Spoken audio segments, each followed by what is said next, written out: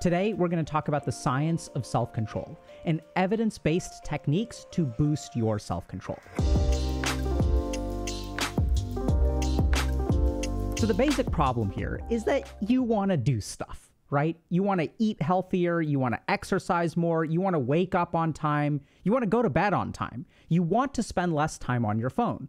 But the problem is that you don't really listen to you, right? And so what we end up doing is we try to find solutions for our problems. And you'll maybe do a Google search or watch a YouTube video about how to eat healthy or how to actually go to bed on time. Hey y'all, I want to take a moment to thank the sponsor of today's video, Babbel. Babbel is the top language learning app worldwide, and I can't advocate for it enough. Part of what I love about Babbel is that it's designed by real language teachers, so they know exactly what a student needs to learn a language. And they also use evidence-based techniques to optimize learning in a short amount of time. I really wish that I had access to this when I was actually in med school because they make learning so easy. I'm learning a lot of very common phrases that doctors would actually need to use to communicate with their patients. I, for example, am learning medical Spanish, which I wish I had access to when I was actually in med school. So I'm learning how to say beba agua y descanse, which means drink water and rest. The last thing that I really love about Babbel is that it's very accessible in all of the in-between spaces in my life. So part of the problem is that learning a new language takes a lot of time,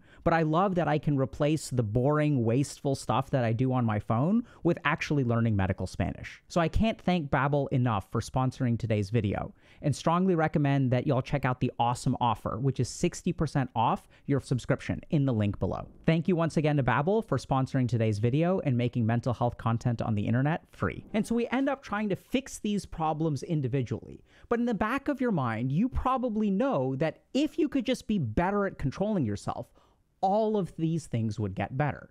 If you were better at self control, you'd be able to eat healthy, you'd be able to be more motivated at work, you'd be able to suppress and control your burnout. And so then we end up doing things to try to boost our self control. Like sometimes we'll even take supplements that are supposed to be cognitive enhancers, or we'll do really hard things like take cold showers. Because taking a cold shower is hard, and if I can force myself to do it, then I should be able to force myself to do all of the other stuff. And it turns out, though, that that doesn't really work. Because if cold showers increased everybody's self control, then we'd have a lot of data supporting that, and everyone would be taking cold showers. It turns out that if you look at it scientifically, what cold showers make you good at is tolerating cold showers.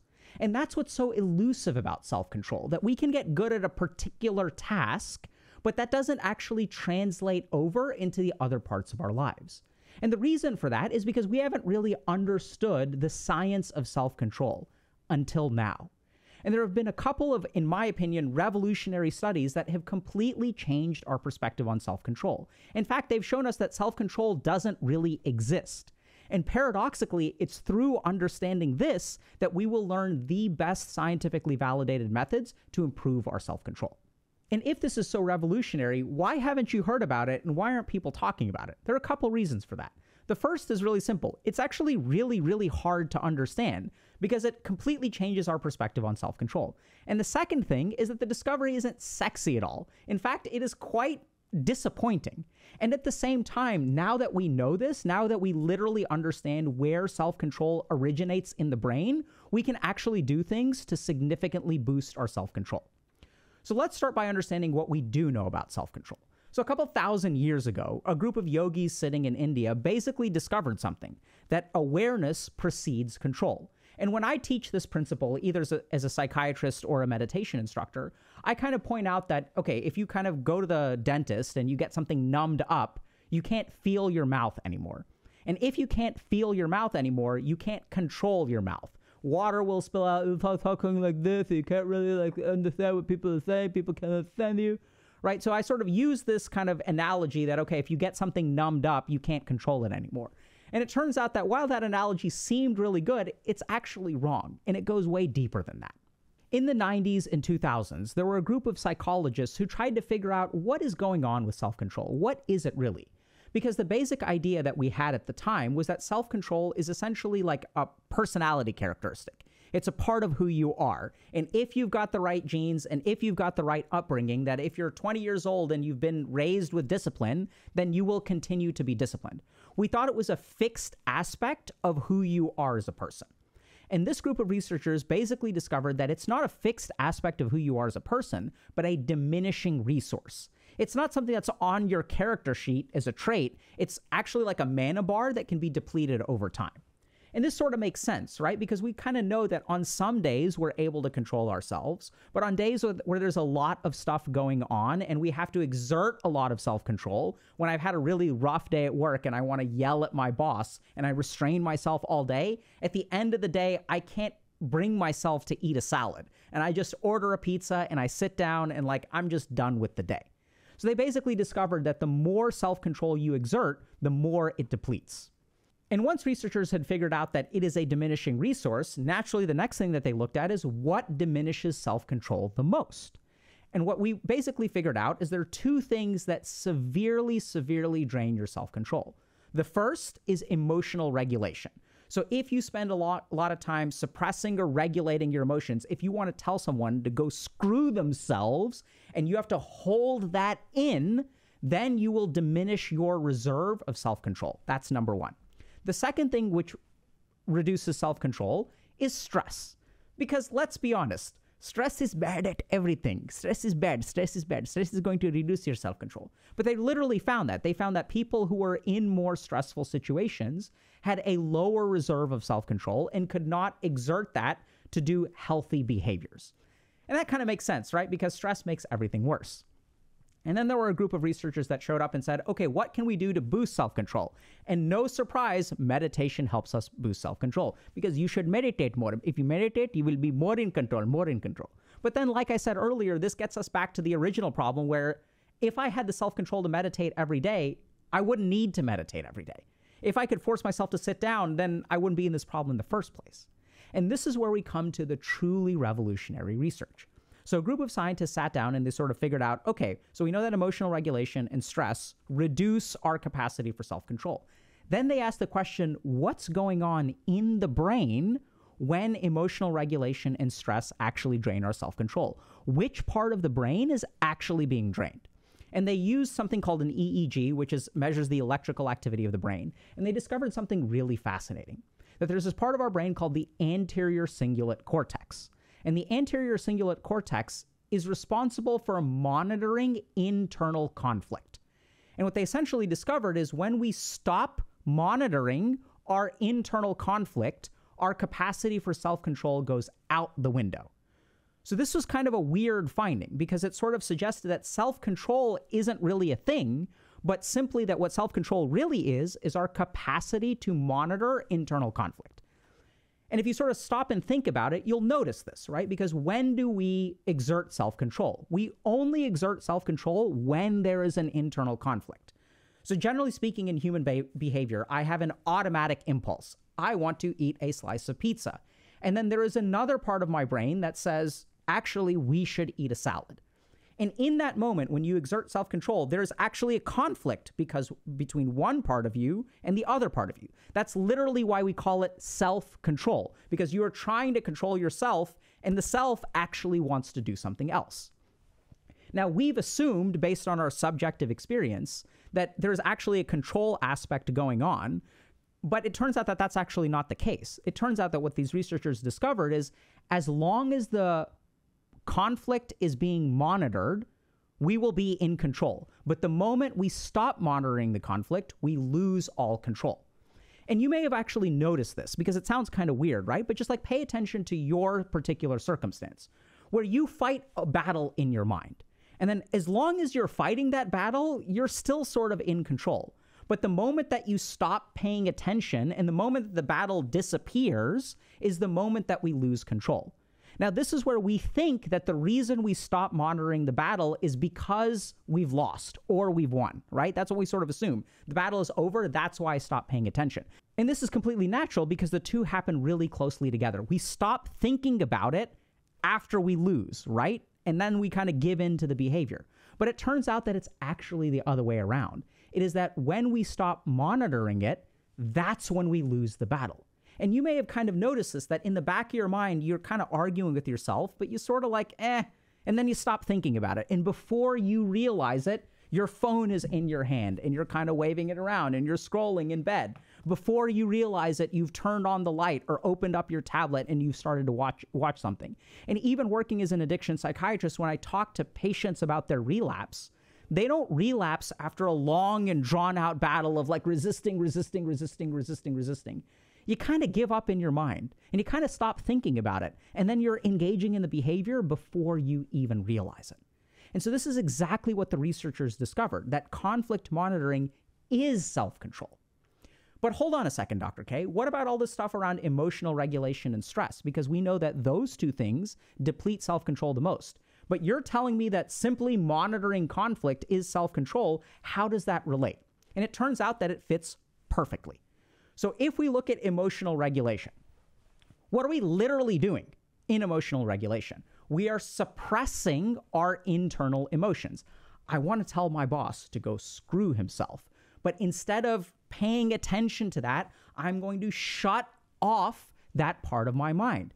And shockingly, when I shut off my internal awareness, I shut off my ability to monitor conflict. And as I shut off the part that is responsible for self control, shockingly, my self control worsens. So emotional regulation fits perfectly because literally what you're doing is shutting off that conflict monitoring part intentionally so that it getting pissed off doesn't take control and actually cause you problems, right? So that sort of makes sense that as we suppress our internal awareness, we will lose the capacity for self-control. What about stress though? So stress is also something that fits perfectly because when we are stressed out, literally what our brain is doing is externalizing our attention. When you are stressed out, you are not thinking or paying attention to this. You are paying attention to the problems outside that are going to screw you, right? So when I'm stressed out about a test, I'm not paying attention to the internal environment. I'm thinking about the test. When I'm stressed out about my boyfriend or girlfriend breaking up with me, I'm not thinking about how I feel. I'm thinking about how do I prevent this disaster? So now we see another really interesting point of evidence, which is that when we are stressed out, literally what our brain does is externalizes our attention to solve the problems that cause us stress. And shockingly, when I externalize my attention, what do I stop paying attention to? My internal conflict.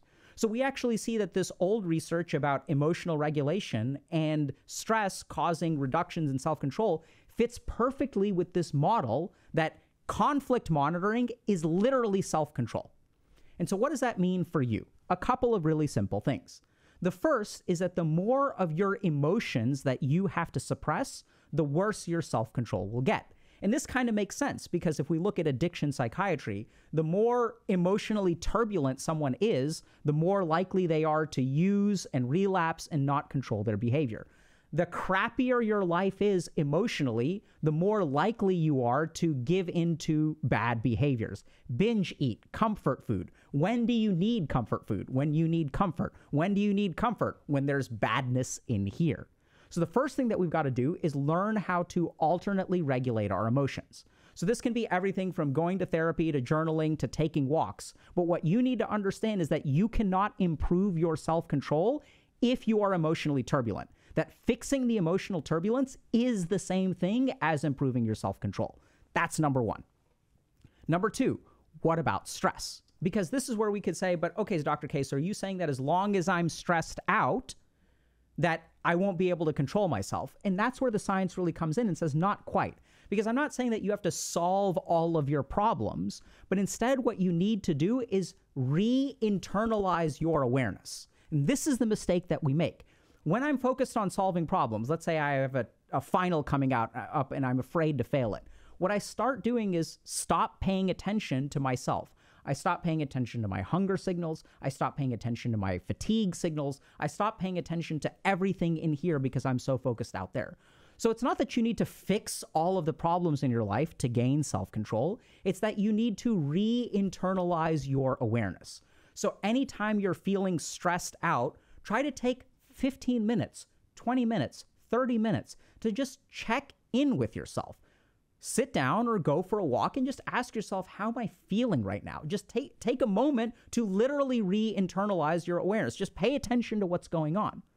And then you may say, but Dr. K, that won't be enough. Even if I pay attention, how do I start doing healthy things? And this is the revolutionary and confusing thing is that the two are actually the same.